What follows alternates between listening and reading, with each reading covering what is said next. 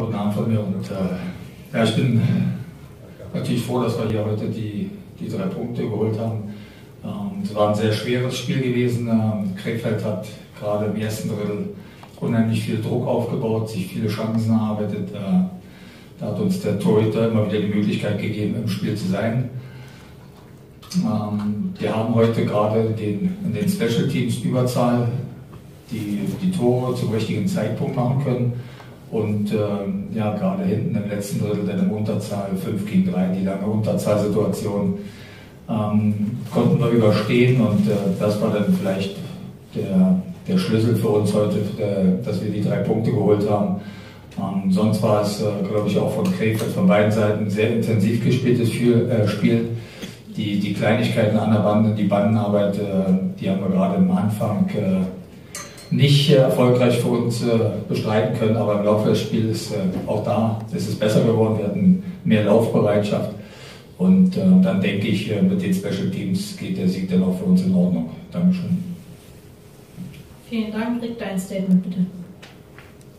Yeah, good Abend zusammen. Congratulations, Thomas. Uh, yeah, we had Tor Jansen. Uh, uh, Bremerhaven had uh, zwei Übersaltor. Und this was the Unterschied. Uh, beide Mannschaft, uh, Arbeit were good.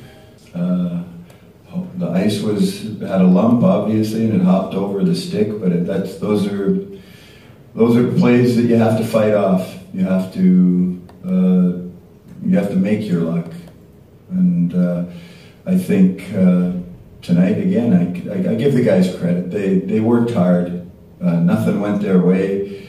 Uh, you have to make it go your way, as I said. But we did we did a lot of good things. We had the five on three at the end, and uh, we had two or three chances. We they blocked shots. We shot the puck over top of the net. We made a couple passes maybe we shouldn't have, but it wasn't for lack of effort and lack of trying. They, I, believe everyone worked hard tonight, and uh, again for the fans, it's very disappointing. Uh, we just have to continue to work hard and try and make it better. Uh, so, again, uh, congratulations to Bremerhaven. It was a good three points for them. And uh, we're hoping that we have the support on Sunday against Ingolstadt. And we'll make sure that they're working hard again and try and continue to make things go our way. Dankeschön.